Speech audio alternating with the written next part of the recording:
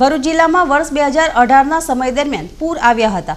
પાણીમાં ફસાયેલા સત્તર લોકોને બચાવી લેનાર બે પોલીસ કર્મચારીઓનું સન્માન કરવા વર્ષ બે હજાર અઢારમાં નર્મદા નદીમાં પૂરની તારાજી સર્જાઈ હતી. તેવામાં એક બસમાં સત્તર જેટલા મુસાફરો ફસાઈ ગયા હતા. આવા કપરા સમયે પોલીસ કર્મચારીઓ ફિરોજ મુલતાની અને હિતેશ વસાવે પોતાના જીવની પરવા કર્યા વિના તમામ પૂરમાં ફસાયેલાઓને બચાવી લીધા હતા. પોલીસ કર્મચારીઓની આ વીરતા બદલ તેમનો રાષ્ટ્રીય પર્વના દિવસે રૂપિયા એક લાખના પુરસ્કાર અને સન્માનપત્ર તથા સાલ ઓઢાડી સન્માન કરવામાં આવ્યું હતું. તેઓના આ સન્માન બદલ બંને પોલીસ કર્મીઓએ આનંદ સાથે આભારની લાગણી વ્યક્ત કરી હતી. અમે જે મુસાફરોને બચાવવાનો જે નિર્ણય કર્યો હતો સુરક્ષિત ગમે તે રીતે બધાને બચાવી લેવા.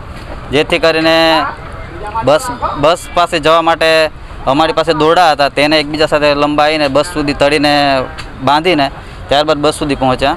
ત્યારબાદ બસમાં સવાર મુસાફરોને અમે આશ્વાસન આપ્યું કે ગભરવાની જરૂર નથી, અમે આવી ગયા છે, તમને સુરક્ષિત બચાવી લઈશું.